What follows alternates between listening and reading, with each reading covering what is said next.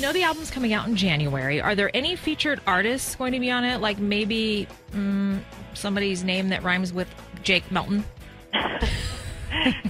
You guys are funny. Gwen Stefani's in the hot seat just days after going public about her relationship with Blake Shelton. Only ET has your first listen from Gwen's interview with radio station 103.7 KVIL in Dallas, Fort Worth, airing Monday, November 9th at 4 p.m. Central. We know you went public with the We relationship, which didn't. Like somebody did, Oh. but Oh, we thought you did. that's what's so crazy. Like who announces that? Like, I thought- like why would I do that? if I was dating Blake Shelton, I would literally, freaking announce I would change my Facebook status so quickly if I was so dating cute. Blake That's Shelton. so funny. He's a pretty rad guy. I have to say that. But it was Gwen's publicist that confirmed the relationship on Wednesday. A rep for Blake told ET that the two were officially dating.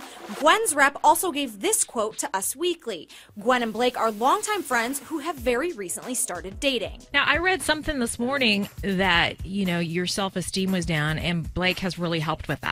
Well, I mean, there's been loads of people that have helped me with this tragedy. But you know, some more than others, right? Well, you know, I mean, there's definitely key people that have pointed me into the right direction, and Blake really helped me. Not to change the subject, but it's kind of on the same subject. Um, Pharrell was literally like a guardian angel.